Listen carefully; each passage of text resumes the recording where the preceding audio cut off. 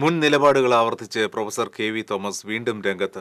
താനിപ്പോഴും കോൺഗ്രസുകാരനാണെന്നും C P M party കോൺഗ്രസിൽ പങ്കെടുത്തതിൽ അഭിമാനമേ ഉള്ളൂവെന്നും കെ വി തോമസ്. സ്വാതന്ത്ര്യത്തിന്റെ വജ്രജൂബിലി ആഘോഷങ്ങളുടെ ഭാഗമായി കേരള കോൺഗ്രസ് എം ജില്ലാ കമ്മിറ്റി തൃശൂരിൽ സംഘടിപ്പിച്ച സെമിനാർ ഉദ്ഘാടനം ചെയ്ത് സംസാരിക്കുകയായിരുന്നു കെ വി തോമസ്.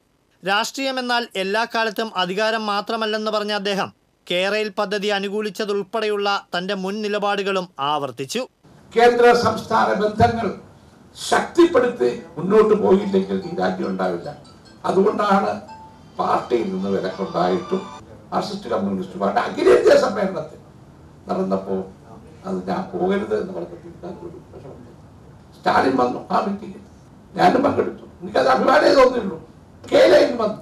കേരളയിൽ ഞാൻ സപ്പോർട്ട് ചെയ്യുന്നതാണ് ജനങ്ങളെ കൂടി വിശ്വാസത്തിലെടുത്ത് അവർക്ക് ഞാൻ കോമ്പൻസേഷൻ കൊടുത്ത് കേരളയിൽ എന്ന പേര് വേണേ മാറ്റാം.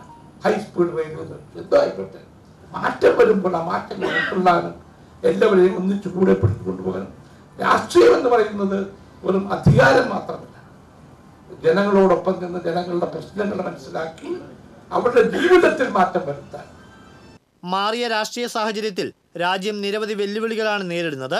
ഇതിനെതിരായ നിലനിൽപ്പിന് എല്ലാ ജനാധിപത്യ പാർട്ടികളെയും ശക്തിപ്പെടുത്തി ഒത്തൊരുമിച്ച് നിർത്തേണ്ടത് അനിവാര്യമാണെന്നും അദ്ദേഹം കൂട്ടിച്ചേർത്തു.